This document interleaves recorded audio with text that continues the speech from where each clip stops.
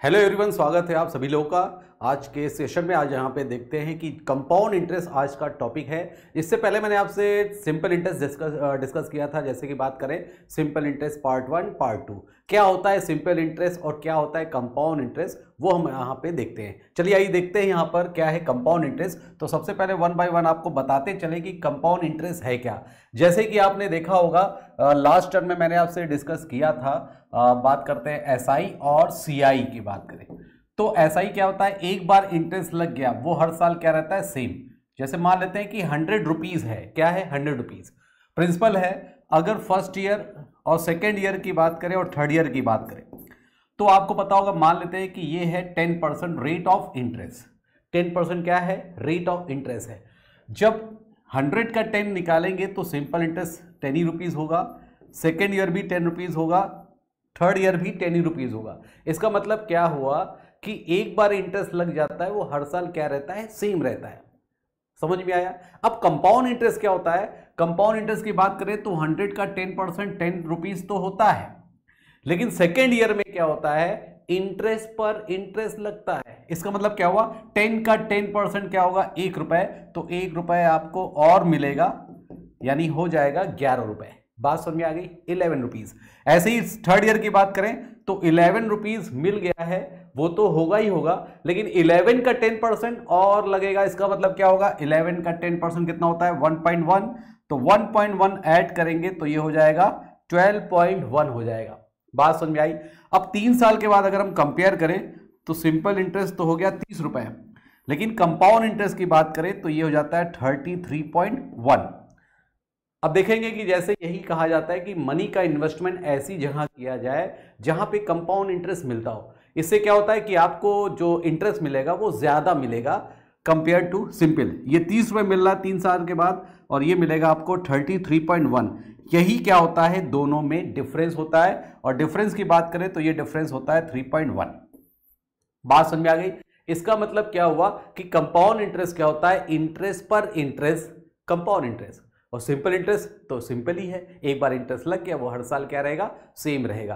तो I hope आपको ये बात समझ में आ गई होगी। तो चलते हैं जल्दी से इससे जो क्वेश्चन पूछे जाते हैं, उस पर डिस्कस करते हैं। लेकिन उससे पहले आप यहाँ पे देख लीजिए कि कंपाउंड इंटरेस्ट की डिफिनीशन क्या होती है? व्हाट इज़ कंपाउंड इंटरेस्ट यानी इंटरेस्ट पर इंटरेस्ट होता है कंपाउंड इंटरेस्ट ठीक है? इतनी बात समझ में आ गई। सिंपल इंटरेस्ट की बात करें तो सिंपल इंटरेस्ट क्या होता है? प्रिंसिपल पे लगता है। ये आपको पता है कंपाउंड भी प्रिंसिपल पे ही लगता है। ठीक है? चलिए स्टार्ट करते हैं। यहाँ पे देखते हैं फॉर्मूले की बात करें तो पहले सिंपल इंटरेस्ट का फॉर्मूला आपको पता है। P R T by hundred ये मैंने आपको सिंपल इंटरेस्ट जब टॉपिक पढ़ाया था तो वहाँ पे डिस्कस किया था। तो S I equal to P R T by hundred है, और इसकी टेक्निक भी मैंने आपसे डिस्कस किया था। ठीक है? और बात करते हैं अमाउंट तो अमाउंट क्या होता है कि अमाउंट में प्रिंसिपल और इंटरेस्ट दोनों एडेड होता है। यानी इंटरेस्ट ऐड करते हैं तो वो हो जाता है अमाउंट इसको कहते हैं हिंदी में मिश्र धन बात समझ में आ गई? तो आप देखेंगे यहाँ पर ये फॉर्मूला है ये भी मैंने आपसे डिस्कस किया था। अब बात करते हैं कंपाउंड इंटरेस्ट तो कंपाउंड इंटरेस्ट का फॉर्मूले की बात करें तो यहाँ पर आप देखेंगे आ, जैसे यहाँ पे देखिए ए इक्वल टू होता है P one plus R by hundred होता है। और ये होता है एन सिंपल सा फॉर्मूला है, जैसा कि आपको पता है। अब सी आई की बात करें तो सी आई होता है ए माइनस पी अब ए मतलब क्या होता है? ये होता है आपका अमाउंट जिसे कहते हैं मिश्रधन। पी होता है प्रिंसिपल यानी कि मूलधन। आर होता है रेट रेट ऑफ़ इंटरेस्ट ये होता है टाइम इसका मतलब क्या हुआ? एनुअली होगा, दो साल। ठीक, जो भी लगेगा, वो एनुअली लगेगा। ठीक है, इतनी बात समझ में आ गई। अब बात करते हैं हाफ़ ईयरली में। तो हाफ़ ईयरली अगर मोड होता है हाफ़ ईयरली मोड मतलब छमाही दे हो। जब हाफ़ ईयरली मोड होता है तो आपको पता है कि कंपाउंड इंटरेस्ट या सिंपल इंटरेस्ट एनुअली लगता है। तो इंटरेस्ट अगर हाफ़ ईयरली मोड पे होता है तो छः छः महीने में पे करना है। जब छः छः महीने होगा, आपको कंपेयर कर हम करें एनुअली से तो आप समझेंगे कि छः छः महीने का मतलब क्या हुआ? दो पार्ट में डिवाइड हो गया। और जब दो पार्ट में डिवाइड होता है तो रेट ऑफ़ इंटरेस्ट भी दो पार्ट में बढ़ जाएगा। यानी इसको क्या करो? रेट को दो से डिवाइड कर दो और जो भी टाइम ड्यूरेशन होता है, उसका डबल कर दो। बात समझ में आ गई? ठीक है, ये कॉन्सेप्ट बहुत ज़रूरी है, क्योंकि आगे वाले एग्ज़ाम में अगर देखा जाए तो कुछ क्वेश्चन इस बेस पर होते हैं। क्वार्टरली की बात करें तो क्या होता है? क्वार्टरली क्वार्टरली की बात करें तो आपको पता है तिमाही मतलब तीन तीन महीने?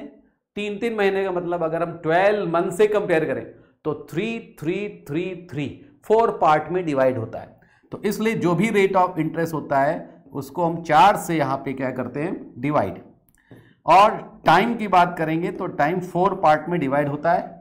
तीन तीन महीने में चार पार्ट में कटेगा तो इसका मतलब क्या हो जाएगा? टाइम ड्यूरेशन को फोर से मल्टीप्लाई ठीक है? इतनी बात समझ में आ गई?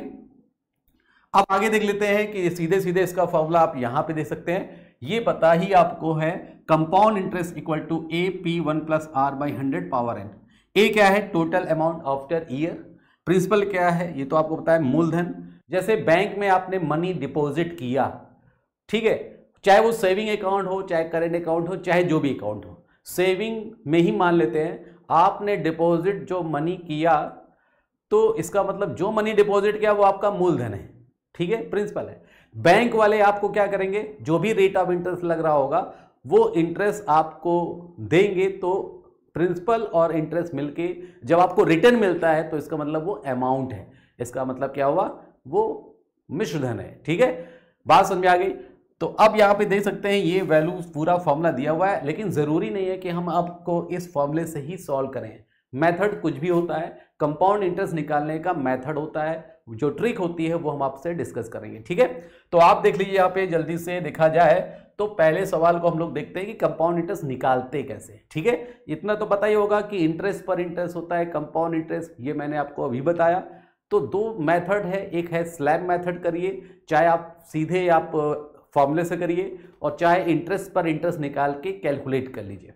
और एक मेथड होता है, जो आपको बताएँगे बहुत ही बढ़िया सा ट्रिक कोडिंग वाला है, ठीक है? तो फ़िलहाल पहले हम लोग यहाँ पे सीखते हैं कि स्लैब मेथड क्या है, ठीक है? स्लैब मेथड के अकॉर्डिंग हम लोग पहले देखते हैं कि प्रिंसिपल क्या है यहाँ पर? फाइव थाउज़ेंड कितने साल है? तीन साल. रेट ऑफ़ इंटरेस्ट है टेन परसेंट कंपाउंड इंटरेस्ट निकालना है. कंपाउंड इंटरेस्ट निकालेंगे तो आप देखो स्लैब जैसे कि बैंक में देखते हैं. बैंक में जैसे एंट्री करते हैं तो एक बोर्ड बना होता है कि कस्टमर को सीधे सीधे पता चल जाए कि आप जो जो इन्वेस्टमेंट कर रहे हैं तो इंटरेस्ट कितना कितना मिल रहा है। उसका बनता है स्लैब कि आप सेकेंड ईयर में करेंगे तो इंटरेस्ट वाला दिखा देंगे पोर्सन ठीक है? पार्ट उसमें दिखाई देगा। फ़र्स्ट ईयर के लिए इतना, दो साल के लिए इतना। तो वो उसी अकॉर्डिंग आपको स्लैब मेथड के अकॉर्डिंग बताते हैं कैसे सॉल्व करना है। अब देखिए फाइव थाउज़ेंड है। ठीक है? थ्री ईयर है और रेट ऑफ़ इंटरेस्ट कितना है? टेन जब थ्री ईयर का होता है तो स्लैब मेथड में देखो क्या करो। पहले वन टू थ्री दो साल के लिए तो इंटरेस्ट पर इंटरेस्ट यहाँ पे दो लाइन तीन साल के लिए तो यहाँ पर देखो, एक, दो, तीन, चार. ठीक है? यानी वन लाइन फिर टू लाइन फिर सीधे सीधे चार लाइन ठीक है? अब समझिए यहाँ पे. अगर सिंपल इंटरेस्ट होता तो फाइव थाउज़ेंड का टेन परसेंट कितना होता है? पाँच सौ रुपए. तो पाँच सौ रुपये लगता कि नहीं लगता? ठीक है? तो आप देखेंगे, देखिए फ़र्स्ट ईयर सेकेंड ईयर और ये आपका थर्ड ईयर तो ये होता है five hundred five hundred five hundred ठीक है? यानी अगर ये सिंपल होता तो पाँच हज़ार का दस percent five hundred five hundred five hundred ठीक है, ये सिंपल हो गया। लेकिन है क्या? कंपाउंड तो इंटरेस्ट इस पर और लगेगा। देखो फाइव थाउज़ेंड फाइव हंड्रेड है ही, लेकिन इस फाइव हंड्रेड का टेन परसेंट और लगेगा तो ये क्या हो जाएगा? पचास रुपए लगेगा। ठीक है? अब बात करते हैं यहाँ पे देखिए। थर्ड ईयर में देखिए, ये पचास रुपए तो लगा ही है। तो थर्ड ईयर में क्या लगेगा? फाइव हंड्रेड होगा ही होगा, इस पर लगेगा पचास। इस पर लगेगा टेन परसेंट, वही पचास। ठीक है? लेकिन थर्ड ईयर में जो इंटरेस्ट मिल रहा है, इसका दस परसेंट और लगेगा, जो कि होता है यहाँ पाँच रुपए। अब देखो, ये स्लैब यहाँ पे क्लियर हो गया। ठीक है? अब देखो, ये एक साल, दो साल, तीन साल, आप ऐड कर लो। तीन साल है तो कितना हो गया पहले इसको ऐड करो, पंद्रह सौ हो गया। ये हो गया आपका एक सौ पचपन। ठीक है? यहाँ पे देख सकते हो, ये हो जाएगा सौ, डेढ़ सौ, एक सौ पचपन हो जाएगा। बस आप देखिए यहाँ पर कितना हो गया, पंद्रह सौ हो गया। तीन, और ये देखिए डेढ़ सौ, और ये पाँच, यानी कि 155 ठीक है? अब इसको आप ऐड करेंगे तो आप देख सकते हैं कि आंसर क्या हो जाएगा? 1655 आ जाएगा। कितना आ जाएगा? 1655 आंसर आपका ये हो जाएगा। बात समझ में आ गई? ये है स्लैब मेथड। इतनी बात समझ में आ गई? ये आपने सीख लिया। स्लैब मेथड में कैसे करते हैं? ठीक है? ये एक सोलह है। यहाँ पे साफ़ साफ़ लिख दे, कोई भरोसा नहीं आप लोग का। देख लीजिए वन सिक्स फाइव फाइव ठीक है? अभी दूसरा मेथड बताएँगे, लेकिन इससे पहले आप एक और सवाल को ट्राई करिए, फिर हम इसको दूसरा मेथड भी ट्राई करके बताते हैं। फ़िलहाल यहाँ पे देख लेते हैं, इसका आंसर यहाँ पे क्या है? फ़र्स्ट वाला। समझ में आया? तो पहले स्लैब मेथड सीखते हैं, फिर उसके बाद दूसरी ट्रिक बताते हैं, ठीक है? तो चलिए यहाँ पे देख लेते हैं नेक्स्ट इसको भी स्लैब मेथड से समझते हैं कि इस टाइप के सवाल को स्लैब मेथड से कैसे सॉल्व किया जाता है, ठीक है? तो देखिए, यहाँ पर सेम वही है। एट थाउज़ेंड रुपीज़ हो गया प्रिंसिपल यानी मूलधन, और रेट ऑफ़ इंटरेस्ट कितना हो गया? पंद्रह परसेंट हो गया, ठीक है? तीन साल के लिए निकालना है। सेम वही है। तो आप देखेंगे, देखिए first year second year third year line भी आपको पता है थ्री ईयर के लिए पहले तीन लाइन ये सिंपल हो जाएगी, ठीक है? कंपाउंड के लिए एक, यहाँ पे सेकेंड ईयर के लिए, यहाँ पे तीन लाइन और। यानी कि वन लाइन टू लाइन और थ्री लाइन इंटरेस्ट पर इंटरेस्ट दिखाना है। सबसे पहले देखा जाए फ़र्स्ट ईयर में, आठ हज़ार का पंद्रह परसेंट एट थाउज़ेंड का पंद्रह परसेंट। कितना होता है? फिफ्टीन एट हज़ार टेबल तो आती कि वो भी नहीं आती देखो बारह सौ होगा ठीक है अब बारह सौ रुपये लग गया तो twelve hundred twelve hundred twelve hundred ये आ गया ठीक है twelve hundred twelve hundred twelve hundred लेकिन सेकेंड ईयर में क्या है ट्वेल्व हंड्रेड तो है लेकिन इंटरेस्ट पर इंटरेस्ट है क्योंकि कंपाउंड है तो इस ट्वेल्व हंड्रेड का वन फिफ्ट या फिफ्टीन परसेंट और लगेगा तो आप ट्वेल्व हंड्रेड का फिफ्टीन परसेंट निकाल लो ये कितना होता है फिफ्टीन ये होता है सीधे सीधे वन एट्टी ठीक है, एक सौ अस्सी। अब कहेंगे आपने कैसे कर दिया? टेबल आती है फिफ्टीन की भी मल्टीप्लाई सीधे ब्रेक करके कर सकते हो। ये होगा वन फिफ्टी है इसका डबल थर्टी ऐड करो। या इसको आप ऐसे भी कर सकते हो ट्वेल्व हंड्रेड को फिफ्टीन परसेंट को लिखते हैं थ्री बाई ट्वेंटी ठीक है? कितना होता है? थ्री बाई ट्वेंटी तो इसको भी कैलकुलेट करके लिख सकते हैं। बात समझ में आ गई? तो अब आप देखिए यहाँ पर 180 हो गया। तो देखो ये 180 होगा ही होगा। ठीक है? अब थर्ड ईयर में ये 180 होगा ही होगा। मेरे रिमेज समझ लो या तो इस पर इंटरेस्ट निकाल दो। ठीक है? 180 होगा ही होगा, लेकिन इंटरेस्ट पर इंटरेस्ट है ना? इंटरेस्ट पर इंटरेस्ट ले रहे इंटरेस्ट ना? ध्यान से देखिएगा। 180 का 180 तो होगा ही होगा, लेकिन इस 180 का पंद्रह परसेंट और लगेगा। तो पंद्रह परसेंट को हमने बताया था थ्री बाई ट्वेंटी कर लो इजी तरीके से। या तो टेबल आती होगी। कितना होगा? सत्ताईस रुपए। ये हो गया। वन एट्टी का थ्री बाई ट्वेंटी करो टू थ्री ज़ा टू नाइन ज़ा एटीन और नाइन थ्री ज़ा ट्वेंटी सेवन ठीक है? इतनी बात समझ में आ गई? अब आप देखिए यहाँ पर कैसे किया जा रहा। अब ऐड कर रहे हैं, कई लोग ऐड भी नहीं कर पाते। यहाँ तक बैठे हैं और बैठे गए। ठीक है? अब देखो यहाँ पे ऐसे करना है। ये कितना हो गया? थर्टी सिक्स तो लिखो थर्टी सिक्स हंड्रेड ठीक है? अब इसको ऐसे देखो। ये कितना हो गया? फाइव फोर्टी हो गया और फाइव सिक्सटी सेवन हो गया। दिखाई दिया कुछ? नहीं दिखाई दिया। देखो इधर। एटीन थ्री ज़ा फाइव फोर्टी होता है, नहीं फिफ्टी फोर होता है, अठारह, तेईस, चौवन। और ये ट्वेंटी सेवन ऐड करेंगे तो ये आ गया। अब देखो, ये हो गया सेवन ये सिक्स ये वन और ये four four one six seven आएगा। तो आंसर देखिए क्या हो जाएगा? टू होगा इसका राइट आंसर दिखाई दिया? ये थर्टी सिक्स फाइव फोर्टी और ट्वेंटी सेवन मिलके फाइव सिक्स सेवन ऐसे ऐड करना है। ठीक है? यहाँ पे देखिए क्या है? इजी इसलिए लग रहा है, क्योंकि आपको ये कैलकुलेशन जो करना पड़ रहा है इंटरेस्ट पे इंटरेस्ट जनरल फॉर्मूले से करेंगे ना, वो टाइम टेकन होगा और जो इस टाइप के आते हैं सवाल, जैसे दो साल तीन महीने, ठीक है? दो साल चार महीने का निकालिए, दो साल छह महीने का, डेढ़ साल का निकालिए तो इस मेथड से आपको बहुत ही इजी हो जाएगा, ठीक है? अब देखिए यहाँ पर, ये हो गया, समझ में आ गया? अब देखो, हमने, मैंने आपको बताया था कि पहले क्या सीखना है? स्लैब मेथड सीखना है, ठीक है? तो इसका आंसर क्या है? टू है, ये बात समझ में आ गई। तो एक सवाल और करते हैं ट्राई कम से कम मालूम तो हो जाए कि यहाँ पे स्लैब मेथड है कैसा। फिर इसको फिर रिवर्स गेयर लगाएँगे तो वहाँ पे एक दूसरा मेथड बताएँगे जो कोडिंग होगी, ठीक है? फ़िलहाल यहाँ पे देखिए, ये सवाल यहाँ पे दिखाई दे रहा है one two eight double zero और साढ़े बारह परसेंट अब आप सोच रहे होंगे कि, सर, अब क्या करेंगे? तो 12.5 आ गया। कैसे करेंगे? ठीक है? तो यहाँ पे देखो, मैंने परसेंटेज की फ्रैक्शन वैल्यू बता दिए हैं। ये टॉपिक आपने पहले पढ़ा भी है सीखा भी होगा, ठीक है? तो साढ़े बारह परसेंट यहाँ पे डायरेक्ट साढ़े बारह परसेंट नहीं निकालना, या ट्वेल्व पॉइंट फाइव परसेंट ना निकालना, फंस जाओगे। ये होता है वन बाई एट 12.5 परसेंट होता है सीधे सीधे वन बाई एट ठीक है? अब आप यहाँ देखिए फ़र्स्ट ईयर सेकेंड ईयर और ये हो गया थर्ड ईयर डिफ यहाँ देखिए लाइन तो पता है कि ये भी भूल गए। वन लाइन के बाद क्या होगा? टू और इसके बाद क्या होगा? तीन और, यानी चार। एक, दो और चार। एक का डबल दो दो का डबल चार, ऐसे याद रखिए, तीन साल के लिए। अब देखो यहाँ पे क्या करना है, one, two, eight, double zero, इसका वन बाई एट। यही तो निकालना है, साढ़े बारह परसेंट कितना होता है, वन बाई एट। अब टेबल आती है, वो भी नहीं आती होगी।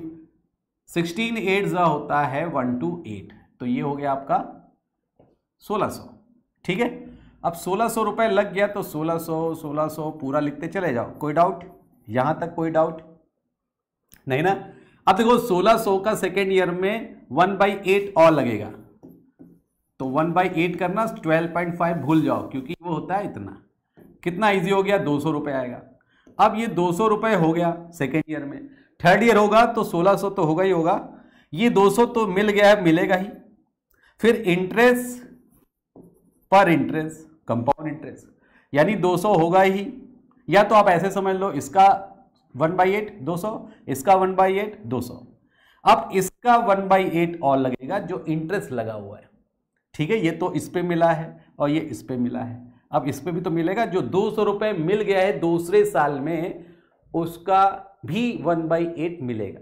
कितना होता है? बताओ, वन बाई एट दो सौ का वन बाई एट कितना होता है? पच्चीस अठे दो सौ होता है ना?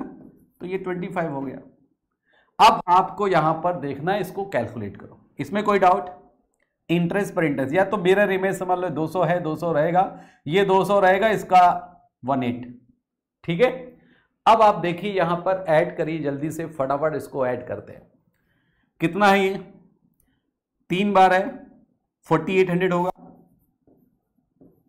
16 थ्री जा फोर्टी होता है तो 4800 हो गया। अब देखो यहाँ पे कितना ये 600 और ये 25 सिक्स टू फाइव हो गया। ये आ गया फाइव ये हो गया टू एट सिक्स फोर हुआ और five four two five answer क्या होगा? फाइव फोर टू फाइव यानी सेकेंड वाला आंसर होगा। ठीक है? तो देखो 12.5 परसेंट के अकॉर्डिंग भी स्लैब मेथड कैसे करते हैं, ये हो गया आपका स्लैब मेथड के अकॉर्डिंग ठीक है? दिखाई दे रहा है? बिल्कुल क्लियर है ना यहाँ पे? कोई डाउट है तो आप लोग यहाँ पे देख सकते हैं। कोई डाउट ही नहीं, अच्छी बात है। चलिए, अब देखते हैं नेक्स्ट इसका आंसर तो मालूम ही है सेकेंड वाला आंसर है। तो हम लोग देखते हैं नेक्स्ट क्या है? इसी टाइप के क्वेश्चन को देखा जाए। नेक्स्ट दो साल तीन महीने के अकॉर्डिंग अगर बताना है तो कैसे करना है? अब देखो, यही बात आ गई कि सर, दो साल तीन महीने का बताइए, ठीक है? अब यहाँ पे आपको सीखना है स्लैब मेथड से ही। फिर इसी क्वेश्चन को हम अगले उसमें आपको बताएँगे कि कोडिंग के अकॉर्डिंग कैसे करते हैं, ठीक है? अब देखिए, यहाँ पे सेम वही सवाल है वन टू एट है, लेकिन यहाँ पे आपको क्या समझाना है? यहाँ पे बताना है कि ट्वेल्व पॉइंट फाइव तो वही होता है वन बाई एट ये भी सेम है, लेकिन यहाँ टाइम ड्यूरेशन घट गया है, दो साल तीन महीने का निकालना है। तो अगर दो साल तीन महीने का अगर पूछा जा रहा है तो आपको क्या करना होगा? सीधे सीधे तीन साल का निकाल लो। ठीक है? तीन साल का। कैसे करना है देखो सेम वही first year second year third year line भी पता होगा वन टू और कितना है ये? चार। ये भी मालूम है कि one two eight double zero का वन बाई एट लगेगा, जो कि सोलह सौ होता है। कितना होता है? सिक्सटीन हंड्रेड निकाला था अभी। तो सोलह सौ सोलह सौ सोलह सौ। कोई doubt? Sixteen hundred sixteen hundred sixteen hundred. Again, same वही इसका वन बाई एट लगेगा। तो ये होता है दो सौ रुपये थर्ड ईयर में देखो, ये तो लगेगा ही, लेकिन इस पर दो सौ दो सौ रुपये मिलेगा। इसका दो सौ मिलेगा क्योंकि वन बाई एट दो सौ। ठीक है? अब इस दो सौ का वन बाई एट पच्चीस रुपये मिलेगा। यहाँ तक समझ में आया था? यहाँ तक क्लियर था ना? अब आपको निकालना क्या है? अब ये देखो, निकालना है दो साल। तो देखो, एक साल, दो साल मिल गया। एक साल, दो साल वाला मिल गया। ठीक है? इतनी बात समझ में आ गई? एक साल, दो साल तो मिल गया। लेकिन जब तीन महीने आएगा तो तीन महीने की हम बात करें कि थ्री मंथ के लिए क्या करेंगे? थ्री मंथ क्या होता है? ये होता है थ्री बाई ट्वेल्व एक साल में बारह महीने होते हैं। तो इसका कौन सा पार्ट है? वन बाई फोर तो इसका वन बाई फोर लगेगा। अब वन बाई फोर लगता है तो आप देखिए सबको ऐड करके जो तीसरे साल का जो इंटरेस्ट है, उसका वन बाई फोर कर दो। या अलग अलग कर दो। ज़्यादा सही है इसका वन बाई फोर देखो इसका वन बाई फोर कितना होगा? चार सौ रुपये इसका वन बाई फोर करो, पचास रुपये ठीक है? ये भी होगा वन बाई फोर कितना होगा? पचास रुपये और इसका वन बाई फोर करेंगे तो आएगा सिक्स पॉइंट टू फाइव आ जाएगा। ठीक है? अब देखो पूरा आ गया है। सीधे तीसरे साल का जो इंटरेस्ट लग रहा था, उसका वन बाई फोर कैलकुलेट कर दिया। अब ऐड कर लो, देखो कितना होगा। सोलह सोलह, बत्तीस, दो कितना हो गया? चौंतीस सौ। चौंतीस और चार कितना हो गया? छत्तीस सौ। ठीक है? दिखाई दे रहा है। सोलह सोलह, बत्तीस ही तो होता है। बत्तीस, दो, चौंतीस, चार, अड़तीस सौ। ठीक है? ये अड़तीस सौ हुआ। अब देखो ये पचास पचास सौ हुआ, यानी एक सौ छः हो गया। तो एक सौ छः यहाँ पर देखो ऐड कर लो और पॉइंट टू फाइव। ऐड करेंगे तो thirty nine zero six point two five. ये एग्जैक्ट आंसर आएगा। बिल्कुल एग्जैक्ट होगा। कोई भी अप्रोक्सीमेट मेट वाला क्वेश्चन नहीं, कि अप्रोक्सीमेट आंसर ये। लगभग वाले सब गलत होते हैं, ठीक है? तो ये एग्जैक्ट कैलकुलेट अगर आप कैलकुलेटर से भी करोगे तो यही आएगा। और वो भी पक्का पत, आपको पता होगा कैलकुलेटर से भी करोगे तो टाइम लगेगा। क्यों? क्योंकि मैथड मालूम ही नहीं है। कैसे कैलकुलेट करते हैं? कैलकुलेटर हाथ में लिए रहोगे। सॉल्व नहीं कर पाओगे और करेक्शन फिर करना पड़ जाएगा यानी रॉन्ग आएगा। तो आंसर क्या होगा? Three nine zero six point two five होगा इसका राइट आंसर समझ में आ गया? चलिए चलते हैं नेक्स्ट देख लेते हैं। आई होप आपको समझ में आ गया होगा। सेकंड है इसका राइट आंसर चलिए नेक्स्ट देख लेते हैं। अब इस टाइप के क्वेश्चन को भी हम लोग डिस्कस करते हैं। अभी हम लोग क्या चेक कर रहे हैं यहाँ पे? स्लैब मेथड सीख रहे हैं कंपाउंड इंटरेस्ट का। अब देखिए, दूसरे टाइप का क्वेश्चन आया है। ये याद रखिएगा कि आगे कोड वाला बताना है। तो देखिए, यहाँ पर क्या है? एक निश्चित राशि जो है कंपाउंड इंटरेस्ट की रेट से पंद्रह वर्ष में कितनी हो जाती है? डबल हो जा रही है। कितना हो जा रही? है डबल कितने वर्षों में आठ गुना हो जाएगी? अब एट टाइम्स कितने ईयर में होगी, ये निकालना है। तो आपको यहाँ पे पता होगा कि जनरल मेथड के अकॉर्डिंग अगर हम सॉल्व करें, थोड़ा सा बेसिक यहाँ पे देख लेते हैं। डबल हो गई है, ठीक है? डबल हो गई है तो यहाँ पे फॉर्मूला आपको पता है पी से टू पी हो गया, यानी amount equal to P one plus R by hundred power N कितने वर्ष में? पंद्रह वर्ष। ये क्वेश्चन फ़र्स्ट ठीक है? कितने वर्ष में? डब एट टाइम हो जाएगा तो देखो ये एट टाइम्स सीधे पहले आप समझें यहाँ पर जनरल मेथड के अकॉर्डिंग बाद में इसको हम ट्रिक बताते हैं कैसे करना है। ये आ गया। अब दोनों देखो, यहाँ पे कट गया कट गया, ये भी कट गया कट गया। ठीक है? इसकी वैल्यू मालूम हो गई। अब इस एट को इसके फॉर्म में चेंज करो। एट को लिखेंगे टू का क्यूब ठीक है? और आपको ये पता है one plus R by hundred power N ये अभी क्या है? जनरल मेथड अब इस टू की वैल्यू आपको पता है दिस वन है। तो टू की वैल्यू यहाँ लिखेंगे one plus R by hundred power fifteen और ये क्यूब आपको पता ही है। क्यूब है और इसकी वैल्यू क्या है? One plus R by hundred power N. ठीक है? बेस बेस इक्वल होता है तो पावर क्या होती है? इक्वल होती है ना? तो देखिए, फिफ्टीन थ्री जा फोर्टी फाइव। इसका आंसर क्या आया? Forty five. तो ये क्या था? General method. ये तो आपको भी पता होगा ना? सीधे सीधे अमाउंट से निकाला गया अब इसको देखो, जल्दी करने का तरीका क्या है कि ये सब अपॉन अपॉन करने की क्या ज़रूरत है? ठीक है? यहाँ देखिए कैसे करना है। कैसे करना है देखिए? 15 ईयर में हो गई है डबल कितनी हो गई है? डबल हो गई है. टू टाइम्स कितने वर्ष में हो जाएगी? आठ गुना. तो ईजी करो ना. पंद्रह साल में डबल अब डबल कब होगी? अगले तीस साल में होगी. पंद्रह साल ऐड करो. फिर डबल हो जाएगी. फिर कब होगी? फिर पंद्रह साल बाद. फिर डबल हो जाएगी. तो सीधे सीधे यही करो. पंद्रह साल में डबल हो रही है तो अब पंद्रह ऐड करो. यानी तीस साल में डबल हो जाएगी. किसका डबल है? इसका डबल ये क्या आएगा? चार। अब देखो, अब कब होगी? इसका डबल हो जाएगी। तो डबल कर दो, पंद्रह साल में अगेन डबल हो जाएगी, यानी पंद्रह, पाँच, पैंतालीस। इसका डबल कितना हो जाएगा? एट फिर इसका डबल देखो, ये साठ हो जाएगा। साठ साल में कितनी हो जाएगी? इसका डबल होगी, ये सोलह। अगेन ये कितना हो जाएगा? सेवेंटी फाइव ईयर में होगी डबल तो सोलह का डबल कितना हो जाएगा? बत्तीस हो जाएगी।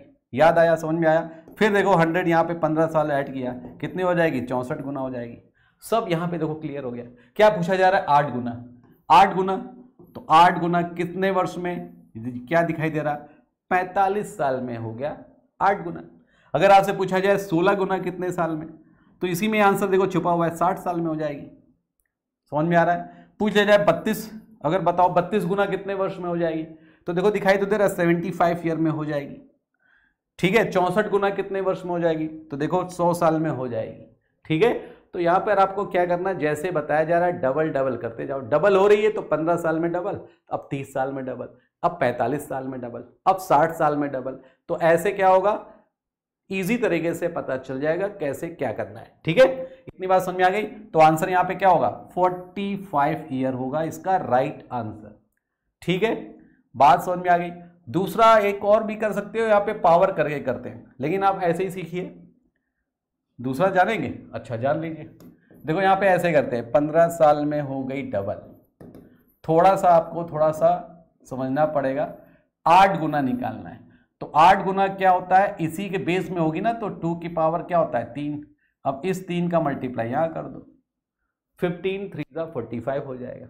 आपको इसके अकॉर्डिंग चेंज करना पड़ेगा पावर में। ठीक है? इससे भी आ जाएगा तो आंसर क्या है? फोर्टी फाइव चलिए नेक्स्ट देख लेते हैं। ठीक है नेक्स्ट देखते हैं यहाँ पे क्या है तो फटाफट देखा जाए अगला। अब देखिए यहाँ पे इसको कैसे सॉल्व किया जाता है? सेम एज वही है, इसको भी आप ट्राई करो। 15 ईयर में क्या हो जा रहा है? डबल ठीक है? पाँच वर्ष में अच्छा फाइव ईयर में। 15 नहीं 15 वाला पहले था। ठीक है? टेंशन मत लो। फिर फाइव ईयर में देखो डबल है। 16 टाइम कितने ईयर में हो जाएगा? ठीक है? अब आप समझ लीजिए पाँच पाँच साल में हो रहा है तो पाँच पाँच साल यहाँ पे ऐड करो। फाइव ईयर में डबल। अब कब होगा? टेन ईयर में होगा। अब कब होगा? फिफ्टीन ईयर में होगा। फिर उसके बाद ट्वेंटी ईयर में होगा। ठीक है? फिर उसके बाद ट्वेंटी फाइव ईयर में होगा। फिर उसके बाद थर्टी ईयर में हो जाएगा। ठीक है? वो इसलिए समझा रहे हैं आपको पूरा कि जहाँ तक दिया हो वहीं पे करके रुक जाओ, लेकिन इससे क्या होगा? पूरा वैल्यू पता चल जाएगी। अब डबल हो रहा है तो इसका डबल दो का डबल चार चार का डबल आठ आठ का डबल सोलह सोलह का डबल कितना होगा? बत्तीस। बत्तीस का डबल चौसठ हो जाएगा। अब यहाँ पे देखो पूरा आंसर आ गया। अब जो पूछा जा रहा है, देख लो। सोलह गुना कितने वर्ष में? तो सिक्सटीन ईयर में होगा बीस साल में। तो आंसर आपका यहाँ भी देखो ट्वेंटी ईयर हो जाएगा। तो आई होप आपको ये मैथड समझ में आ गया होगा। अच्छा भी लगा होगा। तो ट्राई करिएगा, ठीक है? तो कट